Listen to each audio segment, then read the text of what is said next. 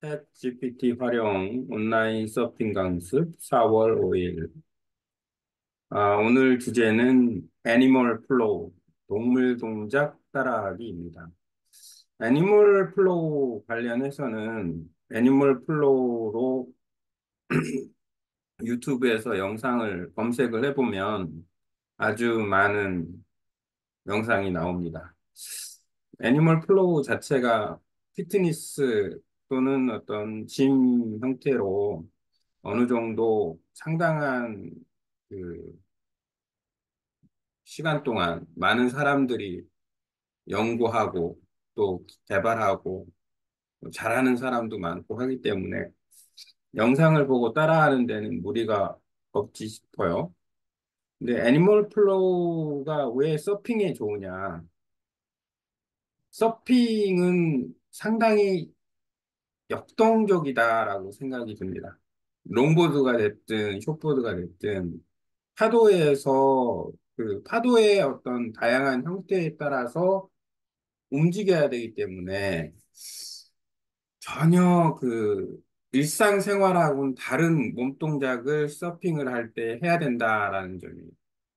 예를 들어서 처음 패들아웃 나갈 때도 팔을 마치 어, 거북이처럼 나갈 수도 있고 아니면 뭐 악어처럼 나갈 수도 있고 어쨌든지 간에 수영하는 사람처럼 자유형하듯이 나가긴 하는데 또 파도를 넘어야 되는 어떤 부분도 좀 있고 아주 다양한 요소가 좀 많이 있습니다.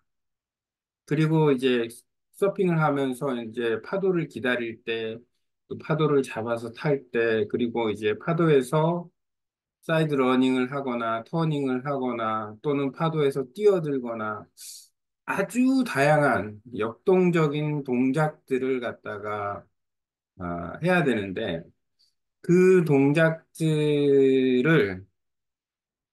연습을 어떻게 하느냐. standard한 방식의 서핑 연습도 해야 되지만 예를 들어서 take-off라든지 paddling이라든지 아, 아니면 logging, 밸런스, 코어 운동 이런 것들도 해야 되지만 부상 방지를 위한 여러 가지 동작, 그 다음에 유연성 이런 동작을 위해서 Animal Flow를 하면 좋지 않나 생각이 듭니다.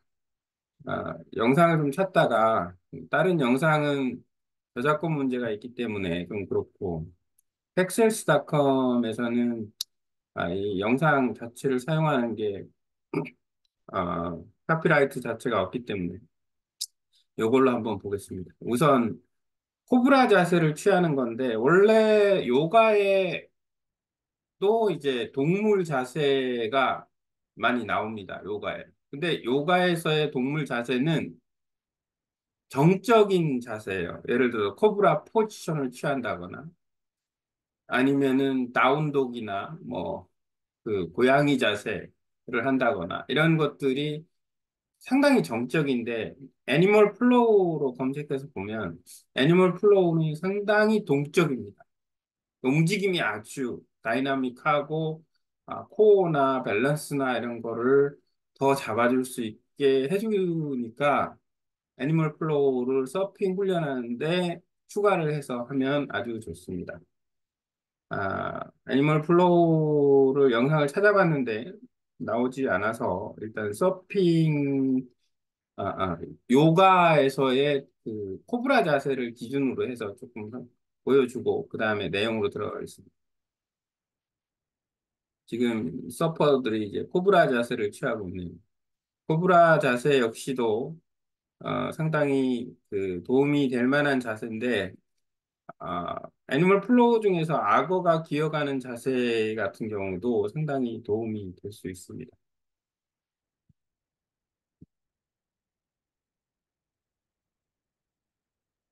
상체를 드는 코브라 자세. 그 외에 지금 영상을 보면 아,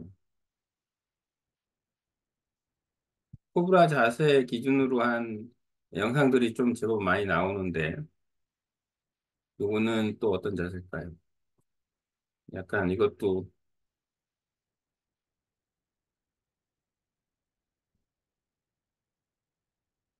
코브라 자세,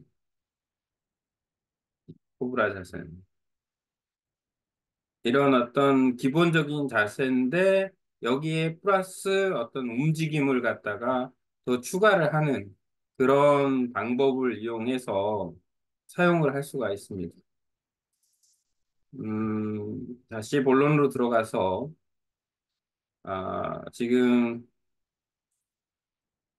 음, Animal Flow라고 유튜브에 검색을 해보세요. 그러면은 아주 아주 많은 영상들이 나옵니다. 네, 그 영상을 참고로 해서 따라하면 서핑 훈련하는데 좀 도움이 되지 않을까 생각이 듭니다. 일단은 ChatGPT에서 검색을 좀 했습니다. Animal Flow for surfing 이렇게 검색을 했는데 서핑을 위한 동물 동작에 관해서 얘기해 주세요 했더니 동물의 움직임을 모방하여 근력, 유연성, 기동성을 향상시키는 유형의 체중 트레이닝입니다. 체중 트레이닝이라는 부분이 상당히 좀 메리트가 있어요. 무슨 얘기냐면 대부분의 그 animal flow는 아, animal은 거의 모든 동물이 일단 네 다리로 걷습니다.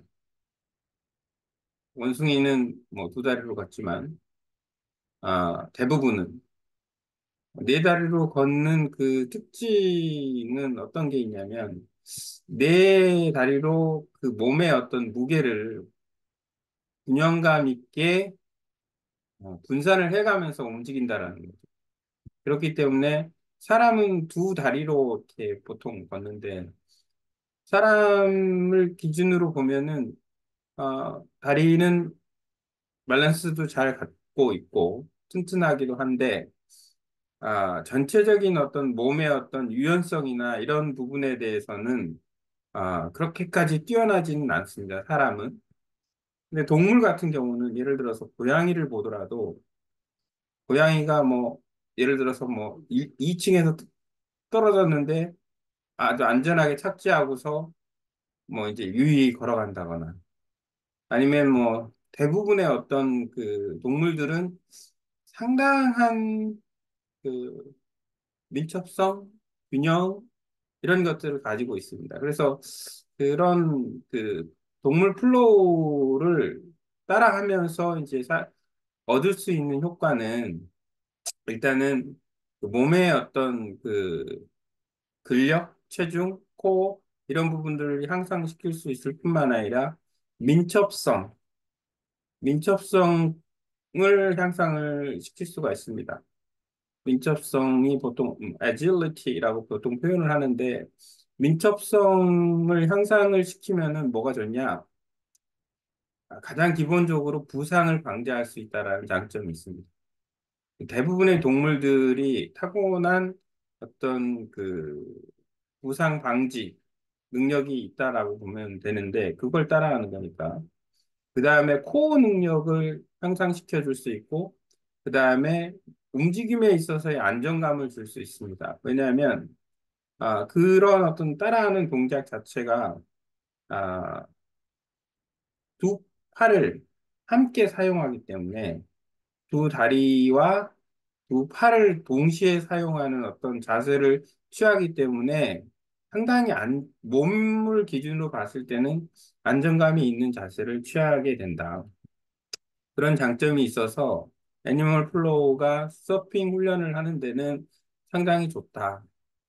상당히 좋은 자세를 갖게 해준다. 음, 몇 가지 이제 챗GPT에서 소개하는 부분이 있는데 이거는 뭐 이제 참고로 하면 되는 겁니다. 어, 그냥 리뷰만 하겠습니다. 곰 크롤, 뭐 곰의 자세, 아, 다운독 비슷한 느낌이 이- 있는데 어, 그 곰의 움직임을 모방하여 네 다리와 무릎을 조금 들어 올려 모든 사지를 번갈아 가며 기어간다. 그러니까 곰의 동작을 이용한다라는 거는 상당히 큰 동작을 쓴다라고 보면 됩니다. 몸의 큰 동작. 그 다음에 개걷기. 바닥에 앉아 발을 바닥에 딱 붙이고 손을 뒤로 향하여 시작한다. 이거는 뭐 개걷기라고도 하고 조금 발을 뻗고 하면은 거미 흉내내기 뭐 이렇게도 얘기하는 것 같아요. 이것도 상당히 아, 좋은 방법 중에 하나입니다. 아, 그리고 이제 또 개구리 점프, 원숭이 도달, 개구리 점프, 개구리 모양을 따라하는 거.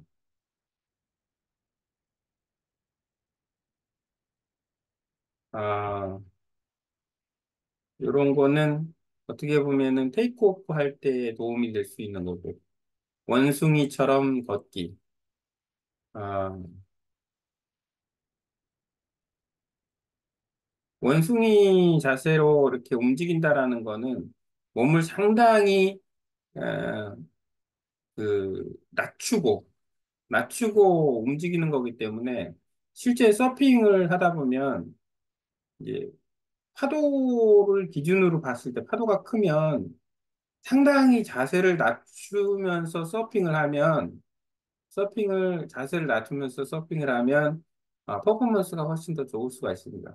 일반적으로 보면은 그 서핑을 하는 사람이 자세가 낮지가 않아요. 대부분 다 거의 서서 서핑을 하는 느낌? 초보자들은.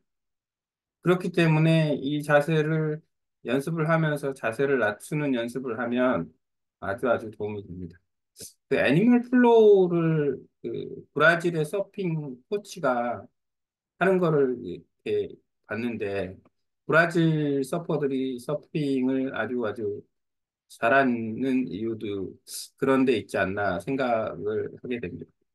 어쨌든 그 외에도 또 많이 있는 거. 전갈, 오리 걷기, 뭐 우리 옛날에 기압 해가지고 오리 걷기 하는데 운동이라고 생각을 하고 연습을 할 수도 있고 뭐 바다 사자 구르기 이런 것들은 어, 유튜브에서 animal flow라고 검색해서 한번 찾아보면 도움이 될 것 같습니다.